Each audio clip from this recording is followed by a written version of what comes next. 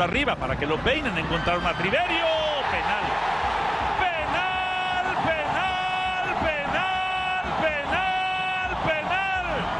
Penalti en favor del equipo del Toluca. Lo viste de frente, Javier Sol. Sí, Paolo Golz abraza totalmente ahí a su paisano de argentino a argentino. Sí, le reclama al árbitro, pero fue claro el jalón sobre Triverio. Sin embargo, parece que el que va a cobrar es Uribe.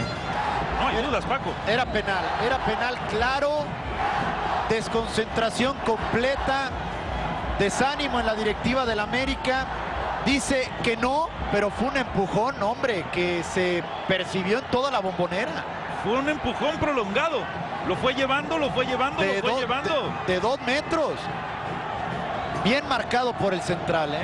¿Qué están alegando? Eh, eh, ¿Están pidiendo la posibilidad de que expulsen Javi o qué? Estamos observando detalle ahí, son los tres americanistas No, están reclamándole que al siguen árbitro Sí, correcto, siguen reclamándole, mientras que también psicológicamente quieren hacerle unos minutos ahí a Uribe, que es el que se perfila a cobrar.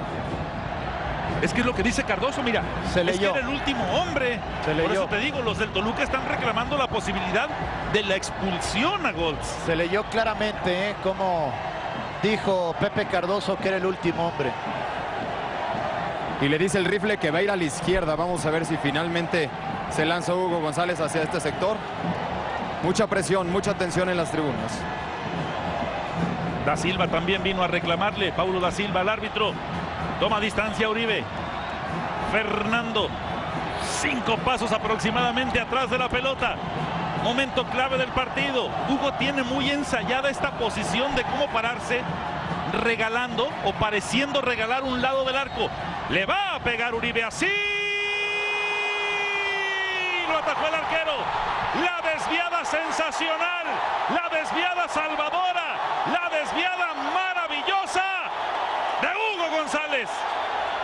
Triverio con absolutamente todo, ¿no? ¿Por qué no la cobró él? Aquí vemos la repetición. Muy anunciado. Eh, Estaba algunos